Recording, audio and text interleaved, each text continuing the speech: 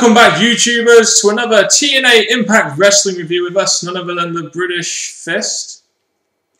I wish you wouldn't do it so hard like that on the Go Home shows, Terminator NJ. I'm Mr. Parkin, this guy sitting next to me.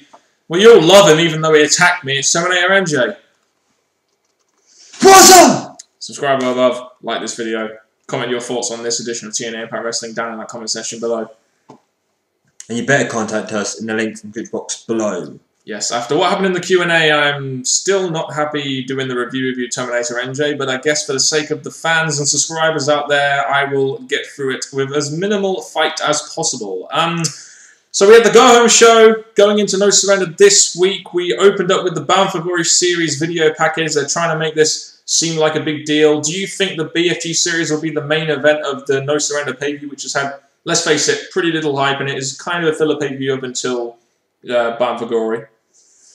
Well, with this starting to build up the importance it needs to, what they've been building up to, what the importance is, is the Bound for Glory series. So I would hopefully TNA do the right thing. Yes, and uh, I think, to be honest with you as well, I would rather at this point see TNA Impact Wrestling go to three hours because they could fit a little bit more into the shows such as these, which you probably need a little bit more pay-per-view hype from really than a three-hour Raw. We will go straight into it. The opening match we had was the BFG Series match between Jeff Hardy and Samoa Joe. Did, did it surprise you a little bit that uh, that we started with this match, this BFG Series match, which, uh, which held a lot of importance in the BFG Series? Well, the fact this match happened to be quite boring, it was most likely best to be the opener.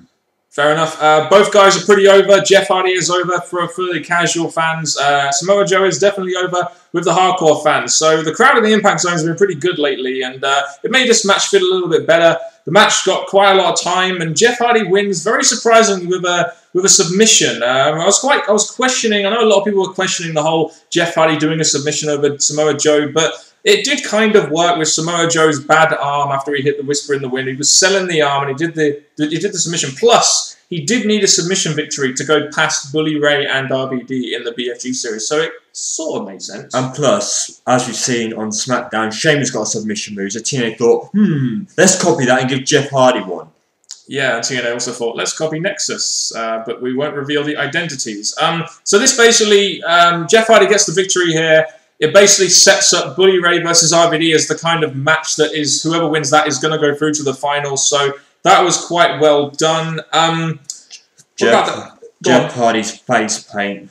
what a giant kid. Yeah. What about the interview segment with uh, Samoa Joe uh, when you had Magnus coming in? Kind of like you always come into our reviews and just try and steal the spotlight. You had Magnus coming in saying how Joe ruined the tag team and how he was always the egomaniac and uh, he cheap shots him from behind. Yeah, kind of reminds me of a little segment we had. Um, that I'm guessing now they're kind of giving us the fact that these two are going to feud and that Samoa Joe definitely isn't going to win the BFG series anymore. Probably at the pay per view they'll have someone like they'll have Magnus cost Joe the match or something. The way they did this was pretty strongly done because obviously when it comes to the end of No Surrender they do need to start continuing feuds and if uh, Magnus wants to face Joe he'll have no chance of beating him but it sets something up. Yeah, and indeed. And you do, I mean, these are two guys you do want to spotlight in some way, and if they're not going to have anything to do with the Aces and Eight storyline, why not put them in a why not put them in a feud together? I mean, I, I agree with it. Um, you had a backstage segment where Brooke Hogan uh, mates Tara versus Tessmacher at No Surrender. I would have liked to have seen this at Bound for Glory, the whole teacher versus versus student thing, but we're getting it at No Surrender. At least we have a knockouts match, and it is a match that does sort of make sense. Well, with this match, it's definitely one I want to see, but all I can say is just like the Divas division, this is absolutely worthless. Yes, and uh, Tara versus Gail is made for tonight. Um, Tara gets the victory after three and a half minutes. It makes sense to make your number one contender look strong at the expense of the ex-champion that was then the longest reigning. It did, definitely gave Tara a big match and a big win going on to the pay-per-view, even though it's only a three-minute match. Indeed. Um, but it made Tara, look strong, which is what it needed to do. Um, did you think they had too many backstage segments in this edition of TNA Impact Wrestling Terminator NJ? There was backstage segments, video packages, and it really kept on repeating, going on and on, and I just really felt that it was too much for what was needed.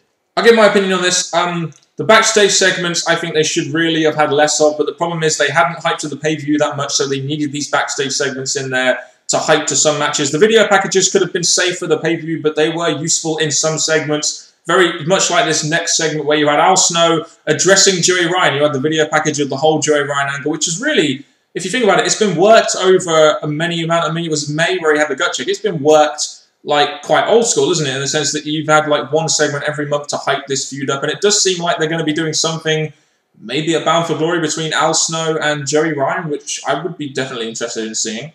Sandow on top of Joey Ryan. Sandow is a lot better at what he does than Joey Ryan. What's that got to do with TNA? Just the fact that Joey Ryan's trying to make for a name for himself. He's going to get Al Snow. As soon as Al Snow slaps him, what does he do? He flees the ring. like the cowardly heel that he is. Um, Al Snow wants to give Joey Ryan another another chance. We get the announcement that they're going to have a match. We didn't really get the announcement of when, but I look forward to seeing this angle. I hope Joey Ryan does get a contract here. And I know a lot of people on Twitter were saying, well, why is, why isn't he facing Taz? Why is he facing Al Snow? Well, the fact of the matter is, guys, that even though Al Snow said yes to Joey Ryan, Pritchard and Taz can't work wrestling matches, so they had to go with Al Snow at the last minute with this angle. So I'm interested in seeing this when this angle is going to be done. I'm just interested whether they're going to do it at No Surrender or Bound for Glory. I imagine they will do it at Bound for Glory. The interaction between the two was very good, in my opinion, if not second part of Taz and Ryan, but still pretty good.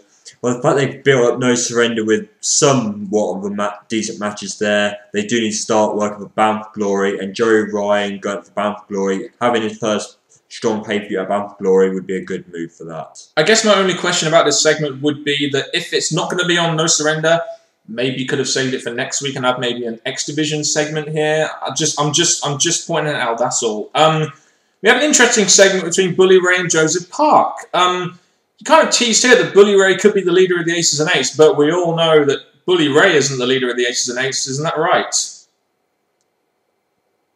I think it's Full Killer, but that's just me.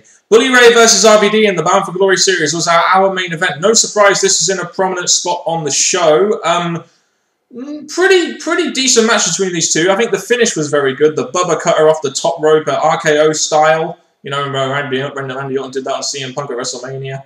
Pretty good finish, don't you think? This being one of the strong matches of the night with a really good finish, I was really pleased how this went down. Yeah, not just pleased with the match, but pleased with the result as well. Bully Ray goes through and RVD doesn't. I think RVD had no place on the final four, so the fact that Bully Ray got the victory, yay. And hopefully that means that he has re-signed with the company long term rather than short term like we think he may have, may have signed. But the fact that he won here kind of says to me that he has re-signed, and that is definitely a good thing for TNA. Is that not right? Um, your any any other thoughts on this match? Move on. All I'm going to say is that Bully Ray is definitely one of the strong people in this Bound for Glory series, and I hope he goes far.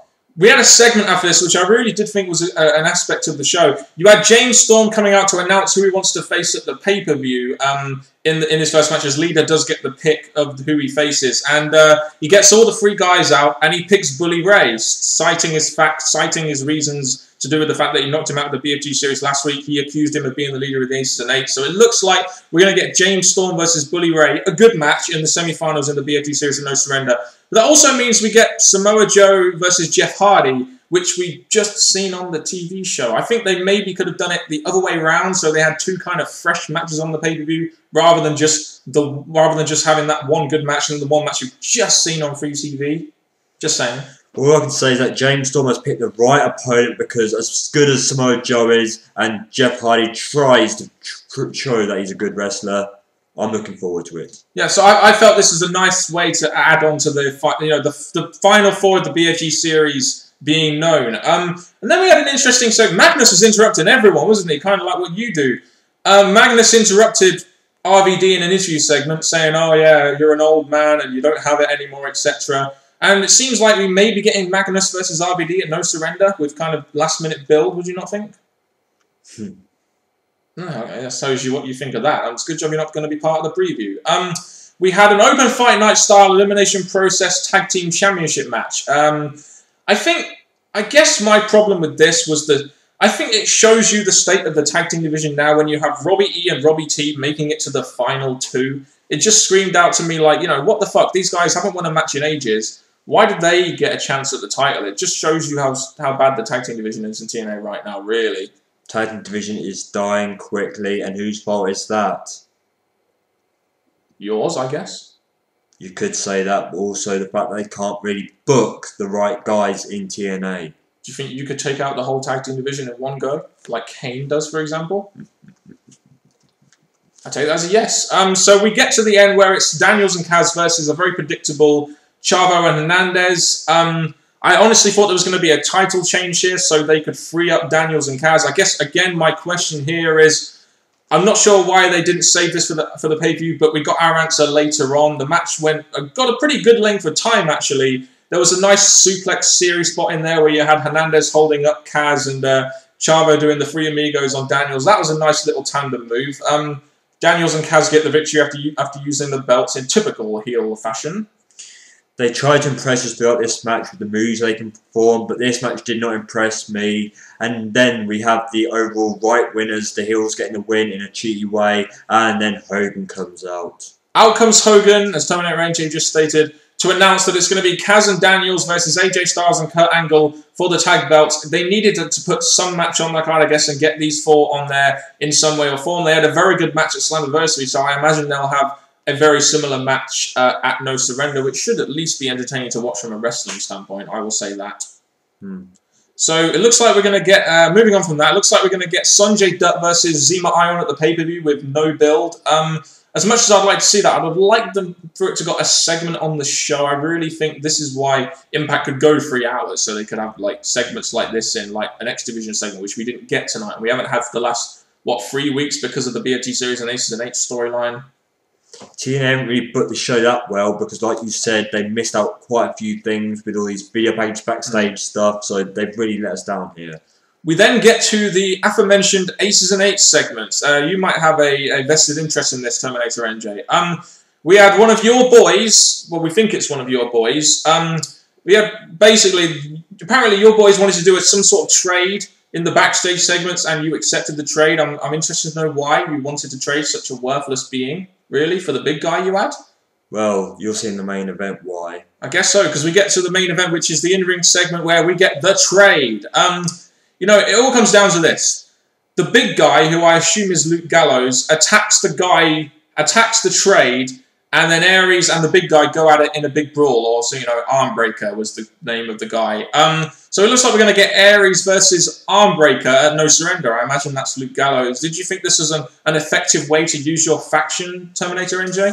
Well, we took out the worthless mortal, the one that got caught by Hogan out of nowhere, and now we get to this. Aries wants to challenge one of my boys, but he's going to soon find out how bad we are.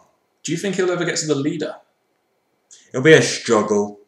I guess so. You have to really work through the ranks if you want to get to the leader of the Aces and Eights guys. You need to, uh, yeah, get in contact with this guy. Um, so this is a main event segment. I, I thought the BFG series maybe should have been the main event segment personally, as No Surrender will be all about the BFG series. But this this was teased throughout the night, and I guess we got we it did lead to some kind of match at the pay per view. Let's face it, Austin Aries did need to get on there, and he goes against one of the members of the Aces and Eights in a fight. So I mean, I'm guessing you'll have a big vested interest in this one, Terminator NJ. Oh, will, because the Aces and Eights would definitely be at the pay per view. Indeed. Uh, what did you think on this show overall, then, Terminator NJ? For a go home show, yes, it gave us some stuff what we wanted, but not in a strong enough way. I really weren't that entertained by this show. Uh, I guess the best way for me to put this show was that it was a, it was a last minute show, as in the fact that they didn't have any real matches booked for No Surrender, but we got the three BFG series matches now: X Division, Knockouts Championship, Tag Team match, Austin Aries. We got uh, we got about seven or eight matches announced for the pay per view, which they desperately needed to do. For the show itself, it was a decent show in my opinion. I mean, the tag match was pretty good. There was some good segments in there. It was quite. I was entertained. The only thing I didn't like about it was because of the lack of hype they've given to the pay per view. They had to have all these backstage segments and video packages and stuff, which kind of affected my viewing of the show. But overall, I say this, this was still a decent to good impact in my opinion. Any other thoughts in that big brain of yours? We just got the pay per view coming up, and that'll be a lot more interesting than this. Indeed, I'm really looking forward to watching the pay-per-view. I wonder what your guys are going to be doing. With Mr. Parking out the way, I've got a message for you worthless mortals. I will be there for no surrender, but I also want to remind you about this. Be prepared, mortals, because the worst day is about to come.